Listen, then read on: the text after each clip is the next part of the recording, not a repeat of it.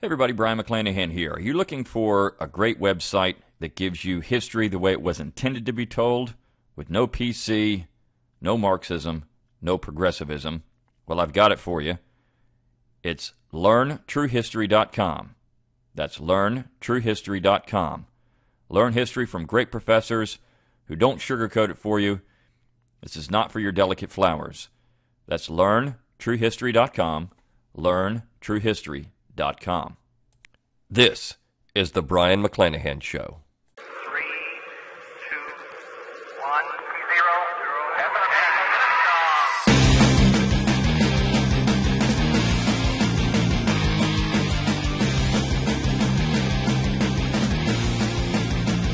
Welcome back to the Brion McClanahan Show. This is episode 60. So here we are, made it through 60 episodes. Glad to be back on the program with you. I just want to remind you if you do enjoy this podcast and anything else that I do, please share it around on social media. That's the only way I'm going to help, or the only way you can help me expand my audience. Uh, also, like me on Facebook, follow me on Twitter, like my YouTube page. All these podcasts do get posted on YouTube, uh, so you can follow them out there. And anything else that I might do, uh, video wise, uh, might show up on my YouTube page. So check that out. Um, also, if you haven't done so, sign up for my free email, uh, which I send out uh, usually at least once a week. Um, sometimes I try to do it more, but uh, you get a free ebook out of it and a free audiobook of Forgotten Founders. So that's highly worth it. Okay, well, episode 60 is something that I've, it's a little different from what I've done before because I'm not going to focus on U.S. history per se, but it is going to factor into U.S. history. So, what I want to talk about in this episode is the idea of uh, the state and what size of a state is best suited for participatory government. And where does this idea of local self government come from? We often talk about this. Well, we're going to have our participation in government. Uh, we need to be involved. We need to be active citizens and uh, doing things to help uh, control the people that govern us. Uh, of course, we put them there. As Jefferson said in the Declaration of Independence, legislative power is incapable of annihilation. Well, why is that? Because we have legislative power. If the governor of your state or the president of the United States was to somehow usurp power and say the legislature is no longer meeting, uh, that doesn't matter because Jefferson said you cannot destroy legislative power. Uh, it, re- it goes back to the people at large for their exercise. And the example of that would be, of course, when uh, the Virginia royal governor dissolved the House of Burgesses and they met at uh, Raleigh Tavern in Williamsburg and simply conducted business there. They may not have been able to meet in their um, legislative hall, but they met where they could, and of course, they uh, conducted their business. So uh, I think that's something that's very important to understand. You know, the Congress, no matter what level, if you're talking about the the uh, federal government or you're talking, or which is more accurately the general government, or if you're talking at the state level where you have your Congress, they are our representatives. But legislative power, if they don't exist, we still have it. So that's an important theme to understand in American government. And I, and I talked about this a little bit uh, in the podcast, I Grant You the Power, uh, because that idea of granting power, a granted power can be rescinded by those granting the power. And so uh, if you look at the Constitution, you have the Congress, which has uh, granted powers. Well, who's doing the granting? The people of the states. And so they can always resume those powers if they deem it necessary to do so. Not the people in the aggregate, not one people in America. We don't have that. We had the people of the states, um, which were represented through uh, state ratifying conventions and, of course, within their own state legislature. So a granted power can be rescinded, you can take it back. Now, what about this idea of size? So, when the United States, and and I talked about this a little bit before with representation, but when the United States was was uh, you know founded, um, and you look at the size of these states, uh, the largest state uh, was Virginia, and of course you also had New York and Massachusetts and Pennsylvania as large states. But your largest city in that particular time period was Philadelphia. And it had a little over 30,000 people. 30,000 people. And uh, most of your most of the area that became the United States and the states themselves was wilderness. There's nothing out there, just a bunch of trees and squirrels and birds, deer. Uh, there really wasn't anything there. You had, uh, of course, your American Indian tribes in some of these areas, but they weren't large. These tribes weren't large. So you didn't have many people around. And in the entire United States in 1790, after the first census, you had about 4 million people. 4 million people. Now, today, uh, most of your states have around that number or more. Uh, some have less, of course, but um, we're looking at states now that were the size of the entire United States in 1790. And so when the founding generation talked about local self government, they had a real example for that because most of your of your local areas had a couple thousand people at the most, maybe less, a few hundred people. And that was their world. And all of this actually goes back to the English political tradition. Now, when we talk about Western civilization and we start looking at where where do our ideas of self-government come from? Well, you have to go back to the Greeks. Uh, you do have to look at their ideas on government. Athens, for example, uh, and the other Greek city-states, but Athens most importantly. The founding generation was well aware of Athens. They studied it quite a lot. They understood what Athens did, and of course, you had the constitutions of Athens, also Sparta. Uh, you know, the, the the Constitution makers, the writers of the constitutions, were revered people because they were codifying and restricting the powers of government. And so the founders thought that that was one of the most important functions you could have in society to be a lawgiver in that particular way, not to write laws to make sure people are doing X, Y, and Z, but to restrain the power of government. And so people wanted to be able to write these type of constitutions. And then, of course, you get forward in time, moving forward, and you have Rome, which uh, was noted for uh, more than anything, not necessarily new ideas on on uh, government, but they did have representative government, a republican system, early Rome, which the founding generation revered. Uh, this type of uh, republicanism that they were so fond of talking about came out of Rome and the early republic.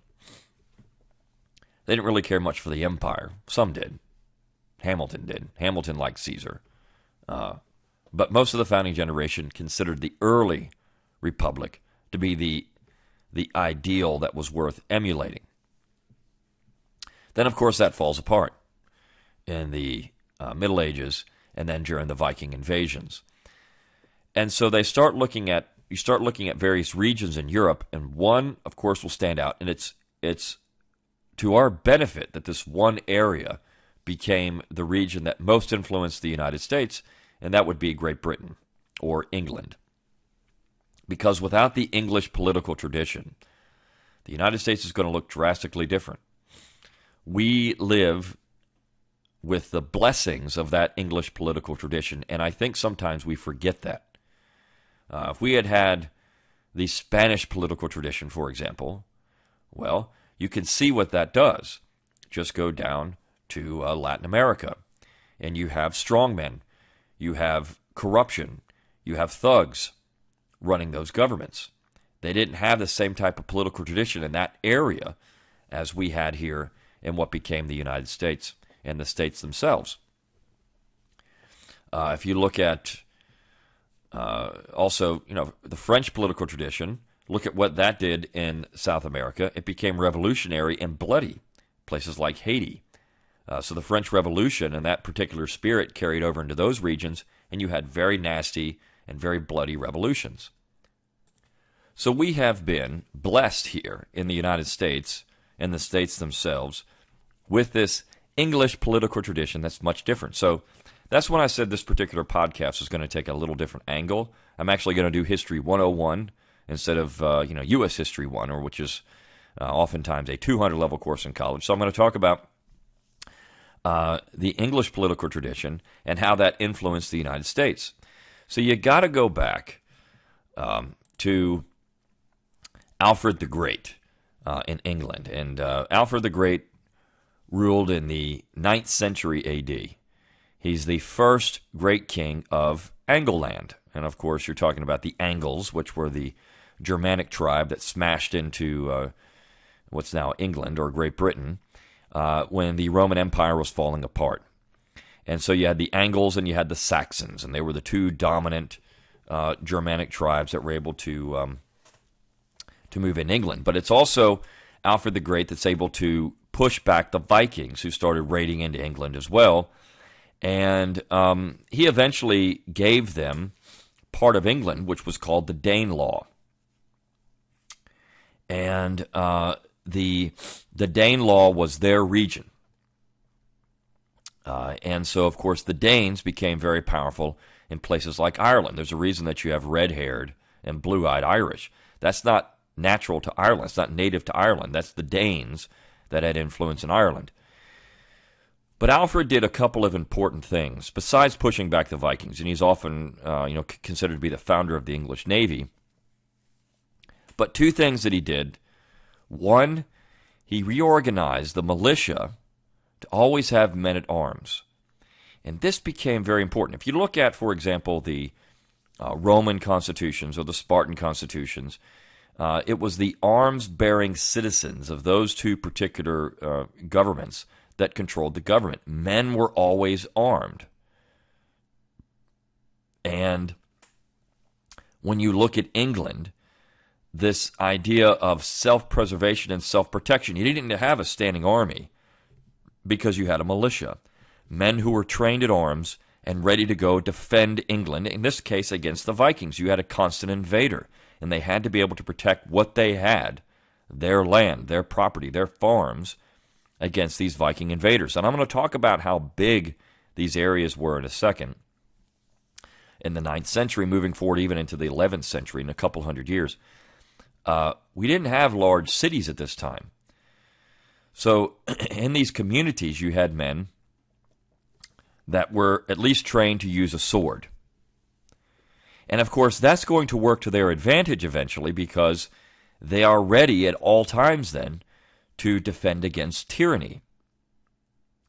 So, this idea of having a men at arms, a militia, always armed, always ready to defend themselves against invasion from any level whether it was a foreign power, a Viking invasion, or whether it was the government itself infringing on their what became their rights as Englishmen, which had developed over centuries by custom and precedent.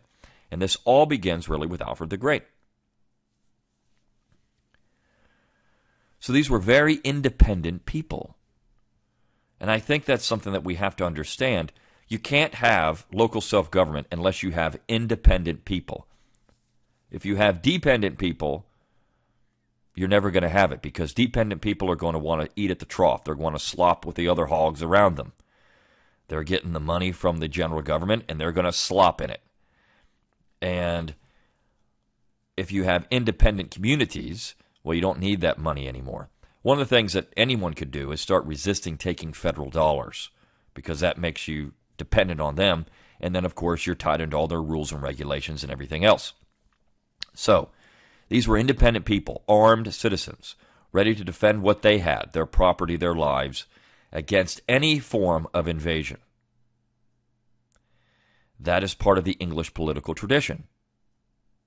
Now, of course, you can find that in other people as well. You can find it in some of the Germanic peoples as you move forward in time. You know, Germany was very much decentralized and had those little little kingdoms in Germany. They they had a, they had the Holy Roman Empire, but they were all decentralized. But England itself, and of course maybe you can find that you get that from these Germans that had eventually moved in and taken over England. So that's an important trend. One, a, a constant militia. but the other that Alfred left to his people and that of his successors was a tradition of people's participation in local government. Now, it didn't mean that you didn't have the king as lord of all of his domain, which was everything that he controlled, all of his kingdoms, whether it was Wessex or Mercia or Northumbria, Northumbria, excuse me, or uh, Essex or East Anglia. But uh, Mercia and Wessex were the two largest kingdoms, and Northumbria was also a large one. So uh, these are the two most powerful kingdoms. Wessex being the, the southwestern part of England, being a very important part of, uh, of England, and then Mercia, which is kind of the middle area. Uh, so you had the king controlling those areas, but then you had these, you didn't have the same type of communication, and you had these very small communities that essentially ran themselves. And that's because these small communities had uh, freemen in them, and you had the county or shire sheriff. And that shire sheriff dispensed law according to local custom and the law of the kingdom. This is the law of the manor that becomes very important moving forward all throughout English history, and then, of course, moving into the United States. So, this sheriff, this is why, if you look at uh, what's going on in the United States today, you have movements to eliminate elected sheriffs and just replace them with state police. Uh, so, in places like Delaware, where you had one of the l- longest, the oldest elected sheriffs in in the United States, I believe it's been abolished, uh, and now they just have the state police. Or there was an attempt to do so. I can't remember if it's been accomplished or not. But you had these elected sheriffs, and why that's important is because the sheriff dispensed the law. So, if the king would pass a law or decree a law that was against local custom, well, they just ignored it and you could even do so down to the down to the individual. If you had a an estate and you were a lord of your estate, and that law conflicted with local custom and precedent, your local custom and precedent, well, you just ignore it. That, my friends, is what we call nullification. You ignore the law if it's unconstitutional or violates local custom and precedent. So this is the English tradition, the English tradition of local self government. And of course, that tradition will carry forward into the United States. So I, I mentioned uh, what about the size of these towns, these communities? Well, there's a very valuable resource online, actually. It's the Domesday Book. It's actually Open Domesday. It's opendomesday.org. And this is a really cool site. If you don't know what the Domesday Book is, the Domesday Book was um, written in 1086. And the idea, this was after uh, William of Normandy, William the Conqueror, uh, took over in 1066 uh, and um, wanted to understand what his tax revenue would be like. So he conducted a census.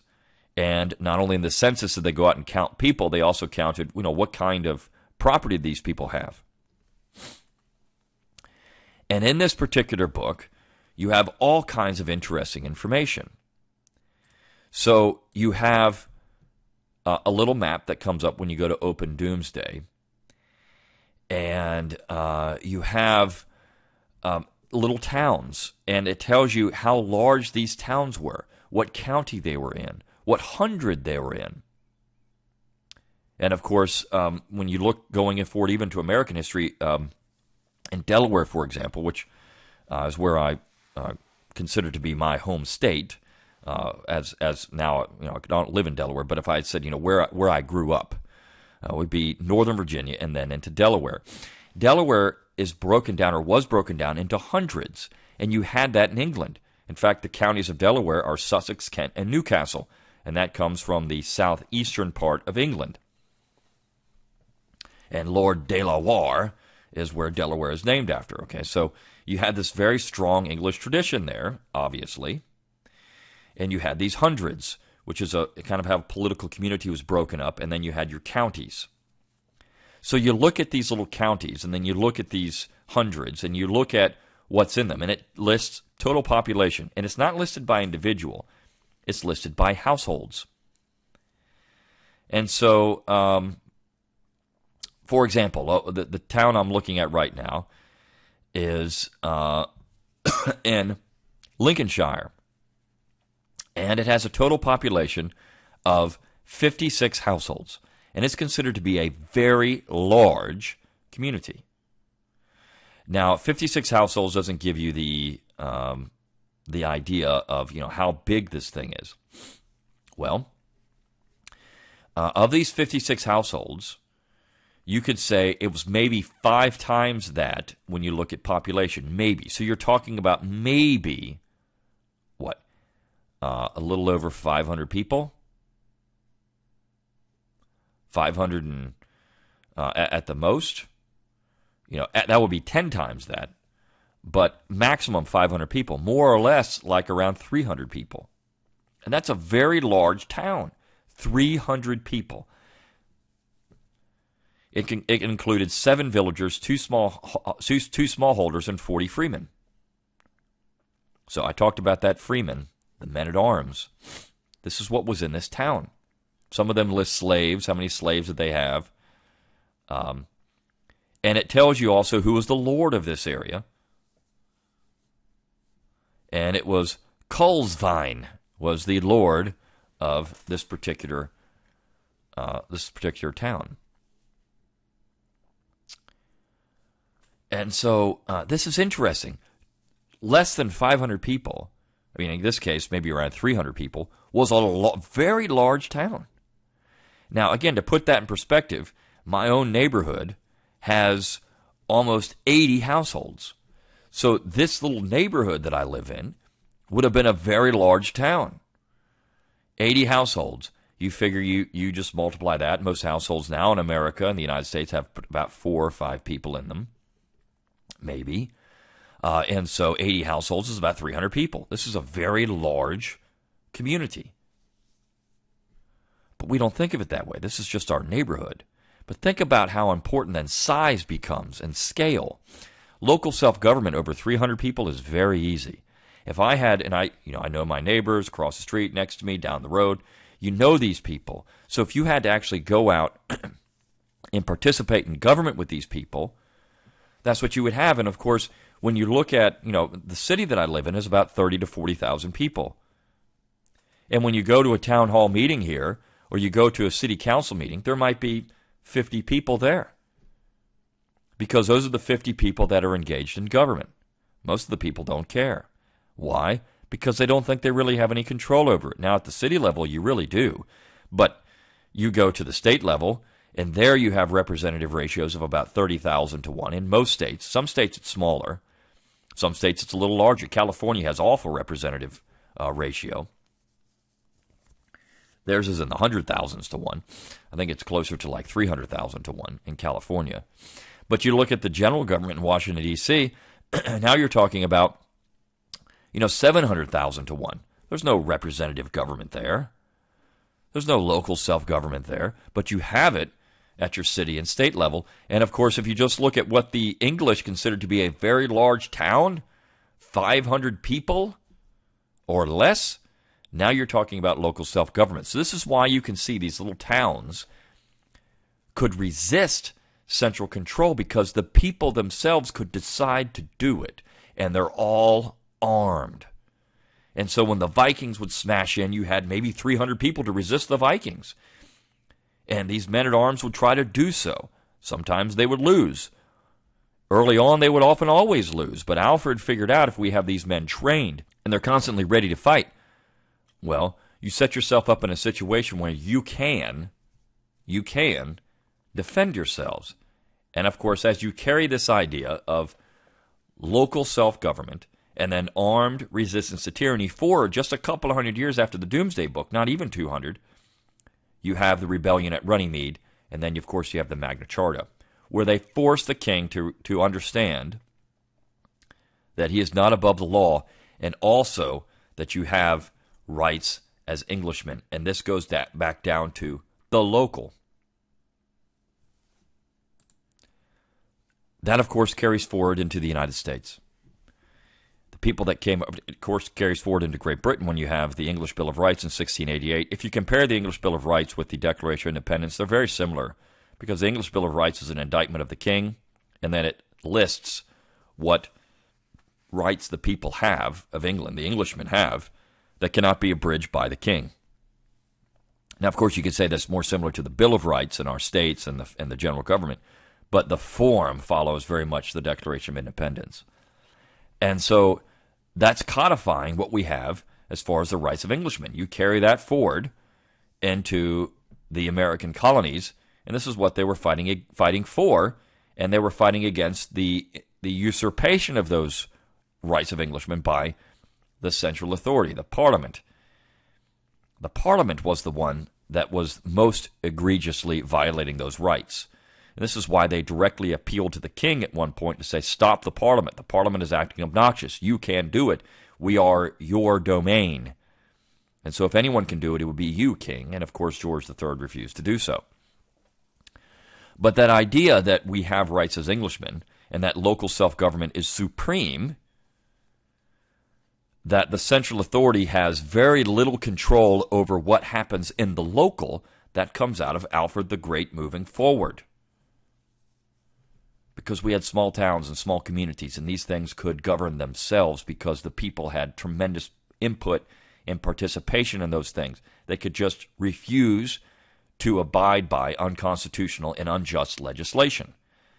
In Richmond, for example, the local courts, if the, if the colony of Richmond uh, the colony of Virginia in Richmond passed a law that was in violation of local custom, the local courts just refused to enforce it. They refused to convict anyone of violating the law. And you had this all up and down the American colonies. In so many ways, it was very decentralized from the bottom up. You still had, I mean, people talked about their colonial legislatures, but even beyond that, the towns, the communities, they would just refuse to abide by the law. That again is nullification. This is the English political tradition. This is why it's so important to understand this. Why it's so important to have sheriffs that understand this. You just don't enforce stupid, unconstitutional, unjust laws. You don't enforce them. You let the people be. There are plenty of laws on the books that aren't enforced. We just don't recognize that or realize that. It all depends on law enforcement. So, uh, what we do is just ignore the ones that are oppressive. You know, legislators are going to legislate, they're going to pass laws. It's the job of the local law enforcement and also juries and judges to resist penalizing people for violating an unconstitutional, unjust, or immoral law. And that comes out of England. So as I began this podcast, I said, you know, it's very important that we understand this is History 101, where this stuff comes from. It's fortunate that we don't have a Spanish or French political tradition. It's fortunate we have an English political tradition because that English political tradition has allowed for local self government for, in our case, hundreds of years. But if you go back um, to uh, Alfred the Great for over a thousand years, we are living in the blessings of that. And there's no other place in the world that has that particular type of tradition long term. So when you go out and you start talking about government and politics with your local officials, talk to your sheriffs, talk to your local law enforcement, talk to lawyers and judges if you have them. I mean, I can do that here. I know there's lawyers and judges who listen to this podcast.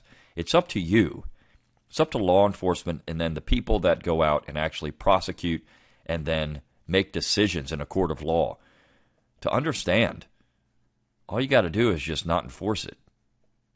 If you sit on a jury and the law is unconstitutional, the law is unjust, don't enforce it. And that takes all the teeth out of whatever unconstitutional acts that government will pass. I'll see you next time on the Brion McClanahan Show.